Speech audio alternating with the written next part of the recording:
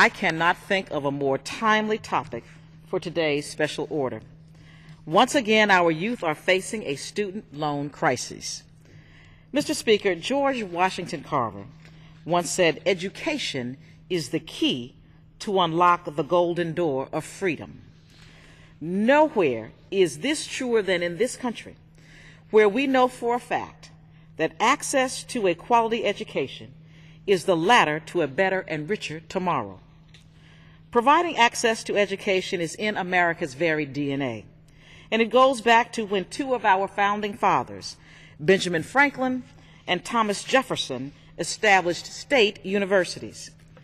This tradition continued in 1862 when President Lincoln signed the Morrill Land Grant Acts to create land grant colleges, an effort to promote higher education for working class citizens.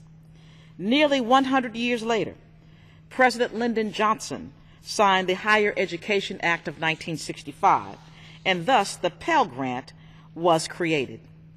Today, an affordable college education is more important than ever in this country's history. In the next decade, 63% of all jobs will require at least some post secondary education.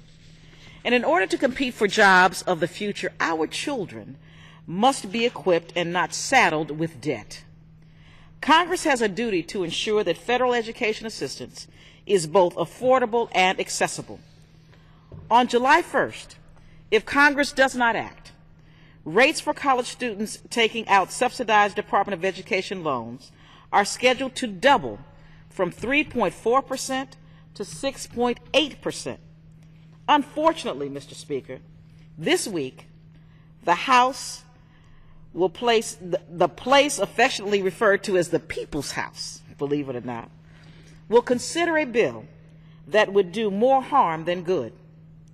My colleagues on the other side of the aisle will bring the so-called Smarter Solutions for Students Act to the House floor.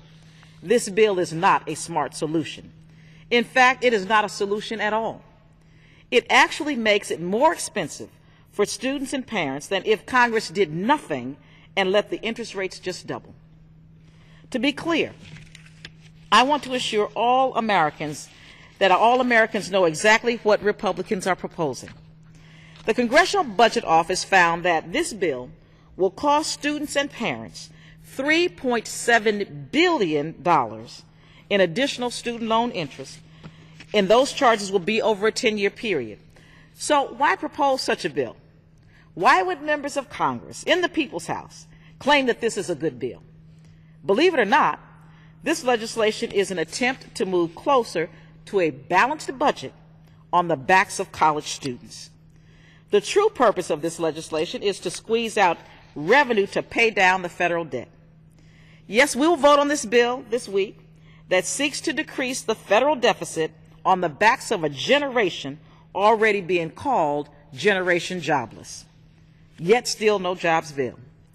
This, lo- this legislation totally ignores the fact that student loan delinquency and default rates are already exceedingly high. Due to the recession and unemployment, nearly 20 percent of student loan borrowers were 90 days or more behind in payments at the end of 2012, so why increase it more? In addition to the student loan crisis, I just have to mention the Department of Education's PLUS loan crisis, another crisis that is breathing down the backs of college students. Over the last few years, thousands of students have been sent home from college because their PLUS loans were denied after the school year commenced. HBCUs have lost millions in revenue. The CBC recently met with Secretary Duncan and requested that the department reverse course to stop the bleeding. As a result, the department is sending out notifications in an effort to get students back into school, and hearings will be held around the country this month and next month. College presidents, students, and parents must speak up and demand a change.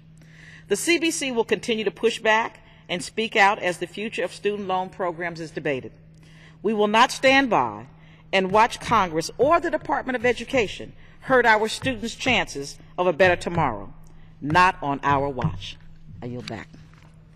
Well, thank you, Chairwoman.